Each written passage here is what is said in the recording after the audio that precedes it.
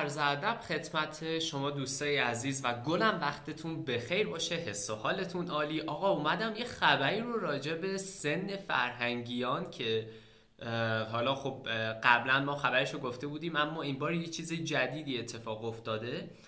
اونم اینه که خب قبلا به این صورت بود که شورای عالی انقلاب فرهنگی اومد گفت که دیوان عدالت با اینکه رأی داده ولی ما میایم به عنوان مثال سن فرهنگیان رو روی 24 سال تنظیم می‌کنیم و یک مرجع رسمی قضایی کشور میاد یه چیزی رو میگه یک مقام بالا رده میاد یک صحبتی رو می‌کنه در حالی که حرفش عملا بی تاثیره و هیچ اثری رو نداره. من کاری ندارم با اینکه این سن درست بوده 40 سال درست نبوده.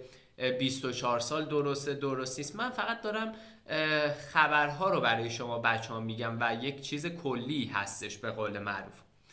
اونم اینه که به واسطه این خبر خیلی ها متضرر شدن.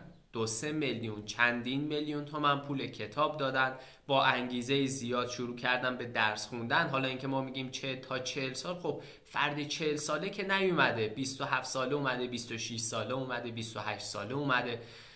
و اومدن هزینه زیادی کردن و حالا یهو می‌بینن که یه مرجع قضایی رسمی کشور حرفش اصلا نادیده گرفته شد و انگار تموم.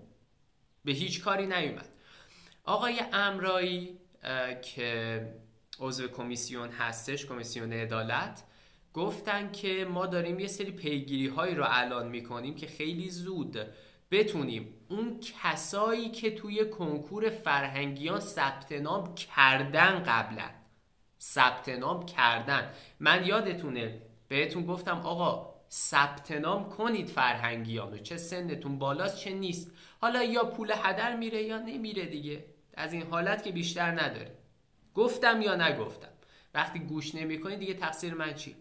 الان میگه که اون کسایی که ثبت نام کردن برای کنکور فرهنگیان و قبلا نام نویسی کردن ممکنه ممکنه که بتونیم یه کاری بکنیم سن تا چهل برای امسال به قول معروف اجرایی بشه فقط برای امسال. و گفته که ممکنه.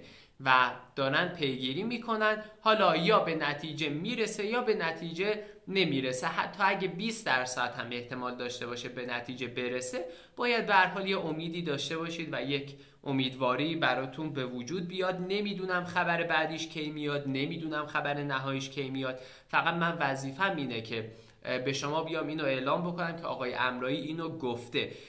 و به قول معروف باید حالا منتظر بمونید همین روالتون رو پیش برید. یعنی اگه درس میخون... میخوندید بخونید. اگه نمی‌خونی بازم نخون.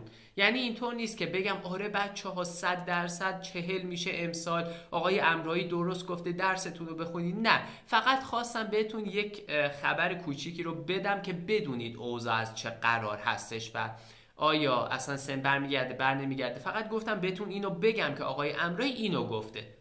اوکی. و اصلا نیازی نیست متحول بشید نیازی نیست استرس بگیری نیازی نیست موردی اتفاق بیفته. چون اگه استرسی قرار بود اتفاق بیفته با رأی شورای عالی انقلاب افتاد. دیگه شد 24 سن. ولی ممکنه یه دو درصد امید همین وسط ها باشه که گفتم خدمتتون عرض کنم.